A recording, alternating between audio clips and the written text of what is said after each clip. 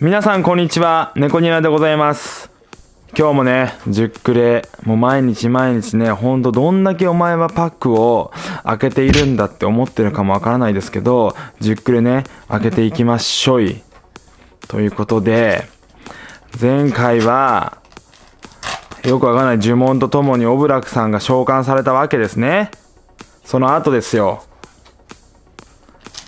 あるかな。まあでも確か後半に出てきた記憶があるんですよ。オブラクさんが。メルテンス。えー、3クレ目。欲を言うとバーディーの黒ももう1枚欲しいんですよ。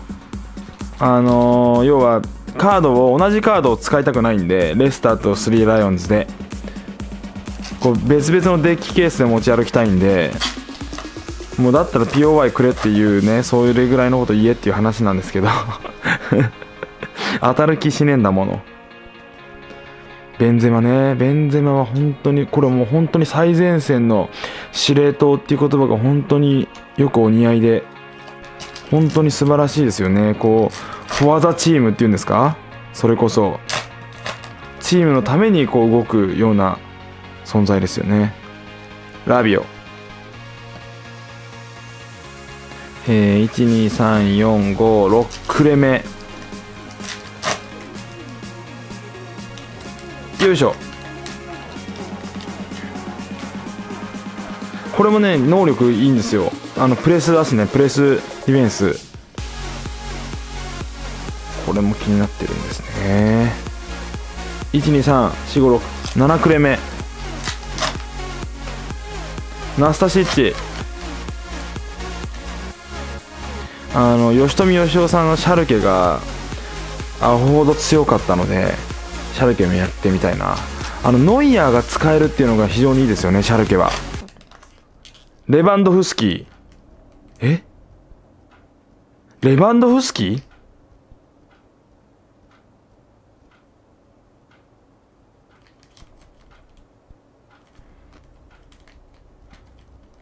いや柔らかいわ。柔らかいわ。